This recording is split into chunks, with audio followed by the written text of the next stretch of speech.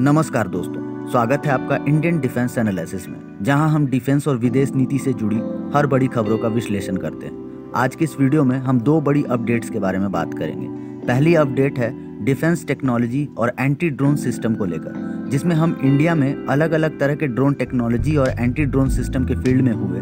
Recently कुछ development की चर्चा करेंगे। दूसरी खबर है स्पेस टेक्नोलॉजी को लेकर, जिसमें हम जानेंगे इंडिया के स्पेस टेक्नोलॉजी के प्रोग्राम के बारे में। साथ में ये भी जानेंगे कि ये टेक्नोलॉजी कितनी रिवोल्यूशनरी है इंडियन स्पेस एंड रिसर्च के फ़ील्ड में। तो चलिए इसी के साथ शुरू करते हैं इन खबरों का डिटेल्ड एनालिसिस पहली खबर पर बात करते हैं। इसराइल की कंपनी स्पेयर यूएवी और भारत की Paras aerospace solution private limited के बीच एक मेमोरेंडम ऑफ़ अंडरस्टैंडिंग यानी एमओयू साइन किया गया, जिसके अंतर्गत इसराइल की कंपनी ज्वाइंटली मिलकर भारत के लिए नाइनॉक्स 40 सिस्टम को इंडियन मार्केट में लॉन्च करेगा, जिसे भविष्य में मिलिट्री और सेंट्रल फोर्सेज द्वारा इस्तेमाल किया जाएगा।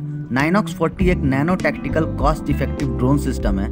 ये भारत के सर्वेलांस कैपेबिलिटीज को बूस्ट करने में मददगार साबित होगा।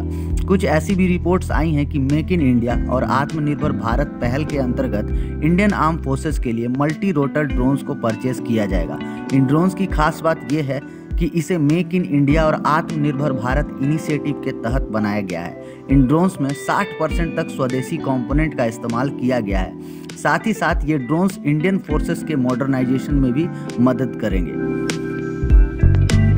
इसी से रिलेटेड एक जानकारी ये भी आई है कि रिवोल्यूशनरी एंटी ड्रोन सिस्टम लाने के लिए ऑस्ट्रेलियन कंपनी ड्रोन सील्ड ने भारत के M two K technologies private limited के साथ पार्टनरशिप की है। और ऑस्ट्रेलियन कंपनी ड्रोन सील्ड का कहना है कि इंडियन मार्केट के लिए M two K technologies private limited एक स्ट्रॉन्ग बिज़नेस पार्टनर है। और इसी के लिए हम इनके साथ मिलकर भारत के लिए नॉन स्टेट और स्टेट बेस्ड खतरों से निपटने के लिए एंटी ड्रोन सिस्टम को पेश करेंगे।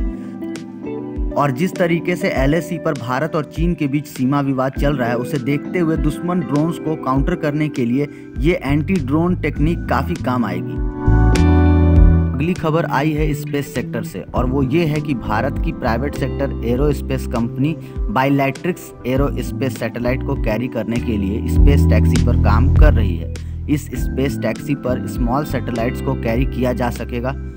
2023 तक ये सैटेलाइट को लोअर अर्थ ऑर्बिट पर लॉन्च करने भी लगेगा। इस कंपनी के को फाउंडर का कहना है कि ये जो स्पेस टैक्सी वाला कॉन्सेप्ट है, ये बिल्कुल नया है, जिसके माध्यम से हम स्मॉल सैटेलाइट्स को अलग अलग ऑर्बिट में बिल्कुल कॉस्ट इफ़ेक्टिव तरीके से लॉन्च कर सकेंगे। आज से पहले जितने भी स्मॉल सैटेलाइट्स को लॉन्च किया जाता था, उसे बड़े सैटेलाइट्स लॉन्च के लिए वेट करना पड़ता था। इसीलिए स्मॉल सैटेलाइट्स के लॉन्च के लिए कोई डायरेक्ट ऑप्शन मौजूद नहीं था। और इसी मार्केट गैप को फिल करेगा ये स्मॉल सैटेलाइट लॉन्चर ये स्पेस टैक्सी अपने साथ 100 किलो तक के स्मॉल सैटेलाइट्स को लॉन्च कर सकता है। ये पूरा सैटेलाइट कॉन्सेप्ट बिल्कुल फ्रेश और न्यू है। इसके सक्सेसफुल होने के बाद भारत दुनिया का पहला ऐसा देश बन जाएगा जो कि स्मॉल सैटेलाइट्स को भी आसानी से लॉन्च कर सकेगा। आशा करता हूँ कि आपको ये वीडियो पसंद आया होगा। अगर आपको ये वीडियो पसंद आया है तो इसे लाइक करें ज़्यादा से ज़्यादा शेयर करें और अपने विचार कमेंट सेक्शन में ज़रूर बताएँ।